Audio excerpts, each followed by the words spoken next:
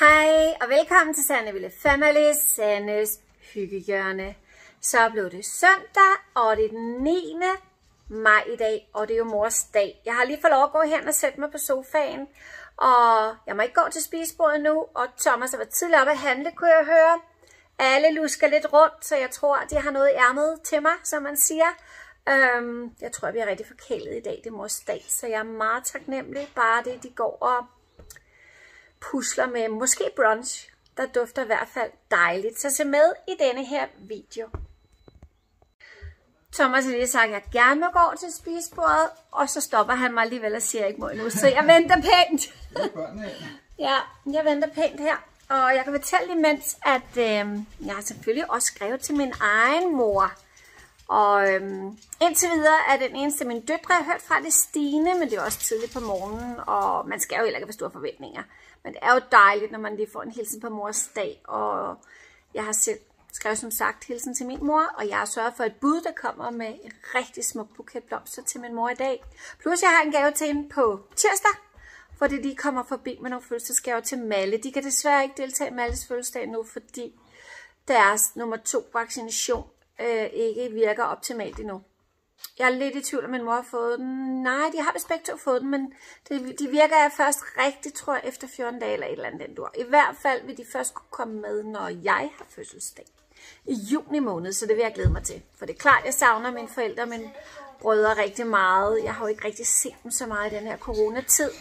Så bare så lykkelig over, at begge vores forældre har fået de her vaccinationer, og de er ved at virke helt optimalt snart. Og håber selvfølgelig også, at vi selv snart får vaccinationerne, så man du ved, slet ikke skal bekymre sig om noget. Men øh, nu begynder pigerne at komme ind, og jeg vil også bare sige til alle jer andre møder derude, papmøder, som bonusmøder, som adoptivmøder, som stemmer alt hvad der er ord for alle, der har guidet et barn igennem livet og taget omsorgs, omsorg om et barn.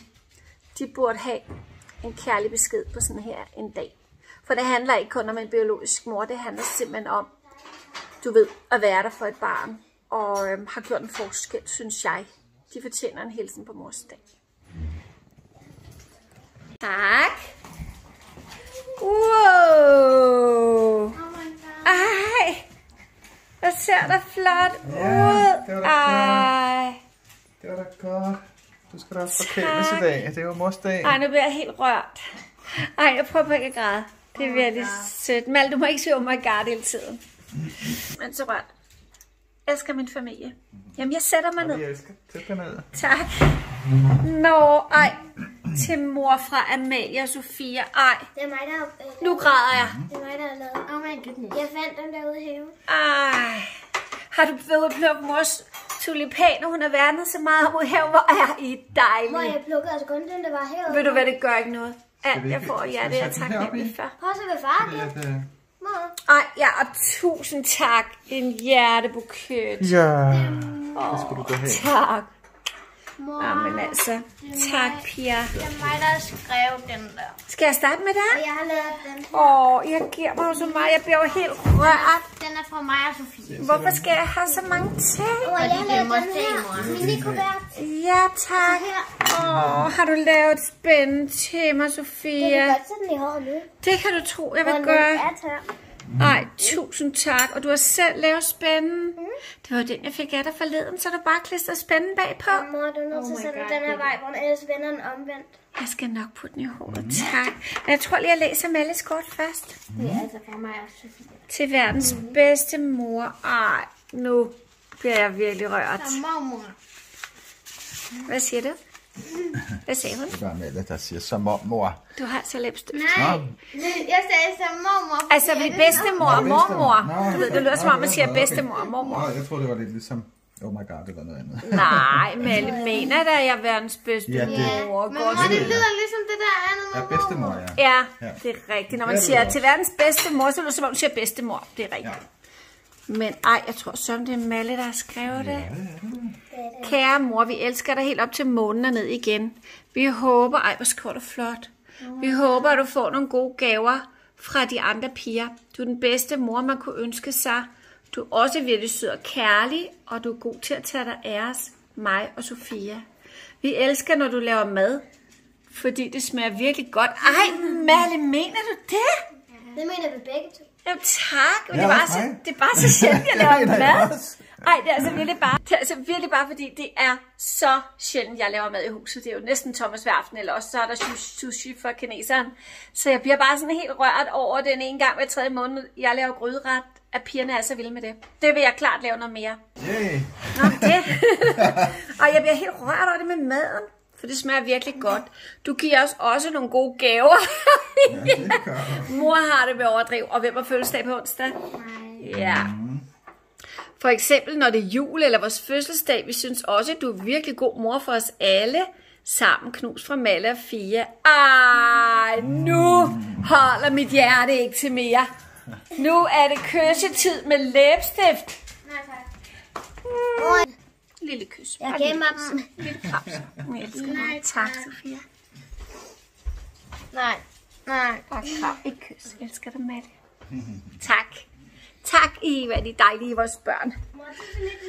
Ja, det var ikke virkelig flot skrevet, Malle og Sofia. Far kunne ikke finde det store, øh, det der. Skal vi ikke lige fjerne jeg den her, så jeg bedre kan se det? Jeg vil bare sige, at jeg blev meget rørt over det, I har skrevet. Jeg har skrevet. Ja, og du skriver rigtig flot. Og tusind tak til jer begge to. Det var godt med. Ja, det gør du. Til mor fra Sofia. Nå. Far fandt en mini-kuvert til mig, Åh, den er lille. Vil du hjælpe mig? det er på grund af, at jeg ikke kunne finde den. Ej, jeg er simpelthen så rørt. Åh, det var cute lille Sofia. Hej mor, jeg håber du har hygget dig. Øh, hej mor, jeg håber at du har hygget dig. Øh, tror jeg, det står. Hej mor, jeg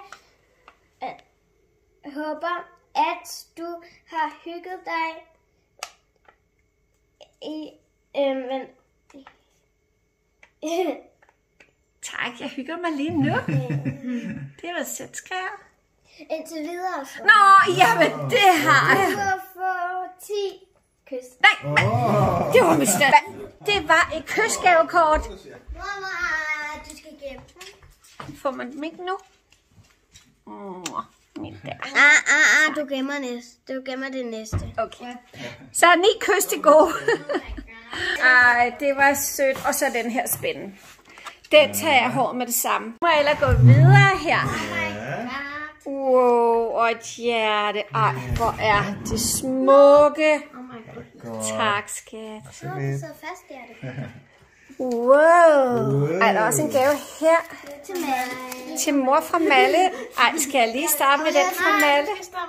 Skal jeg starte med denne her? Jeg vil ikke have, at du skal starte med min først. Og jeg ved godt, hvad det Vil er. du optage mig så? Sig det, er. Det er mig, der har pakket den der ind. Kan du godt se, at jeg tager spændt i håret? Må se. Ja, det er flot. Jeg har fået Åh, Sofia. stor Tænk mig spændende. selv at lave den. Ja, det er så flot. Sofia, er du skuffet over, at jeg ikke har taget kjole på? Ja. Nå, det var godt. Nej. Wow! Wow, Det er liv, det? du lever, er det liv, du får. Der står Ej, det er. Pernille Ågerlund. Ej, den er Ja. jo helt vild med. Og hendes smykker. Ja. Ej, bare det er det, jeg håber, det er. ja, det håber jeg da også Jeg der. håber så meget. Jeg vil ikke sige det, men jeg håber det. Vi er så gyldne. Wow. Ja. Wow, det var den ring, jeg havde ønsket mig, og Fia. Ej, Prøv at se. det var heldigt. Og den er flot, men pølserne er blevet kolde. Og hvad er det nu, den sten hedder der i? Det er en det er rosenkvarts. Ej, jeg har kigget på dem. Ej, hvor er den smuk. Ej, jeg krydser, jeg håber bare, den passer. For jeg har sådan en ønske om at have den Ja. herovre. Wow, Passer den den? passer lige nøjagtigt, Thomas. Ej, hvor Og jeg er har den godt. anden herovre med min visertræ. Mor, du skal have begge dine hænder i et Hvor var det godt. Åh, så kan jeg lige tage et sådan her. Er du glad? Ja, var tusind godt. tak. Tak, skat. Tak, piger. Velbekomme. Ej. Ja, der er der mere. Åh, hvad er det flot. Ja. Er det ikke en amulet? Jo, det er en amulet. Og det er Ej. guld. Tusind tak, skat. Du forkæler mig altså alt for meget. Og du ved, Det er jo din dag, skat. Du skal forkæles i dag, jo, ikke? og så ser jeg den her ring. Jeg Jeg synes også, stenen hedder noget andet. Ja, ro- rosenkvarts eller rosakvarts. Ja, man kan også kalde den noget andet. Nå, kan man det? Hvad er det nu, man kalder de sten også? De har også en fælles betegnelse. Ja, det er en krystal, ikke? Ja, det er en krystal, det er en vil krystal, sige. ja. Og der er Ej. energi i den, jo. Ja, Siger man. jeg har faktisk set på den, og jeg havde ønsket Ja. mig den så meget, for det giver styrke og håb. Ja. Og det er lige sådan noget, jeg elsker. Jeg elsker at udrette ting, som du ved. Ja, det ved jeg. wow, og en amulet, Ja. det har jo også en betydning. Og jeg Ja. elsker sådan noget, der har en betydning. Wow, hvor er den flot, Kan vi lige få Thomas. den med her? Ja. Må jeg se? En amulet. Men sidste gang jeg hørte ordet amulet var i prinsesse Sofia. Og jeg har så en Prinsesse. Sofia, Jeg ja. er også en prinsesse. Prinsesse Sofia Nå, nej, hun en står ved siden af. Og jeg har en krystal, som jeg fik af mor. Ja. Den er også flot. Oh, ej, jeg bliver så den? forkælet. Maja Sofia, ligesom mig, hun elsker smykker. Ja. Jeg prøver lige at tage den på, Sofia. Den er flot. Ja, den er så flot. Det ligner sådan, der Det er er på sådan en flaske.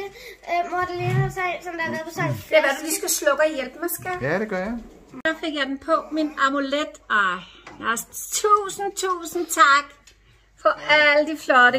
Jeg er virkelig rørt. Nej, undskyld, jeg maler Malles. Så vil jeg give jer masser af kærlighed, og jeg kan godt og jeg laver brunch. Jamen, altså, jeg er så rørt. Tusind tak, og du kørte ud for at handle. Jeg kan slet ikke få nok af jer. I er så søde. Ej, og det søde brev fra Malle og Fia, og spændende i håret, og ringe og halske, og til mor fra Malle. Malle, du får mit hjerte til at smelte ligesom Sofie. Oh my god. Jeg bliver så forkælet. Ja, det kan godt være. Ej. Det er lidt svært med en hånd. Ja, jeg ja. Jeg er bange for at ødelægge det. Jeg tager lige noget det her væk. God. Ikke oh my god, skat i dag på morsdag. Spændende. Jeg hjælper dig lige her. Ej, der er et til brev. Ej. Så spændende. Det ser lidt lækkert ud med bacon, var Sofia? Ja. Malle. Så det der. Wow, jeg tror, det er noget clay. Værsgo. Ej. Vi skal ikke læse brevet, det lige Nej, man skal da... Hvad siger du? Fordi det gør jeg bare ikke det. Åh, vi skal lige på vi skal lige prøve at se, om vi kan læse det. Ej, der er en kage og en ananas. Det er det der, laver. Clay, ja, det er så sødt. Åh, det er svært. Ej, der er en ananas. Ej, der er også en halskæde med en svan. Og hvor er den smuk, Malle. Wow, tusind tak, Malle. Den også er så også. Ej, det Og Sofia. Eller Malle. Det kom fra mig. Okay. Hej søde mor, jeg elsker dig, fordi du tager dig godt af os og gider at lave ting sammen med mig, hjerte. Åh. Når jeg er ked af det, prøver du altid at muntre mig op, og det er jeg taknemmelig for. KH Amalie. Ej, Amalie. Hvor er jeg glad for, at du lægger mærke til sådan nogle ting. Jeg elsker jer. Og så har du lavet en, Donut. og en wow. ananas, og en kage med et hjerte, og Ja. en bamse, eller En panda. en panda, mener jeg. Og en, åh, Nå, det er tusind clay tak, der. Malle. Elsker jer. Elsker jer. Elsker jer. Elsker dig, skat. Wow. Det var alt her fra i dag fra Hyggehjørnet. Og øh, se med igen på familiekanalen Sandville Family, så må ikke nogen af vores voksne døtre kigge ud i dag. Så laver jeg en video til jer inde på familiekanalen Sandville Family senere i dag. Men Happy Mother's Day til alle jer mødre derude. Tak fordi I så med. Tillykke til Tak. Ja, tillykke til alle mødre derude. I fortjener det.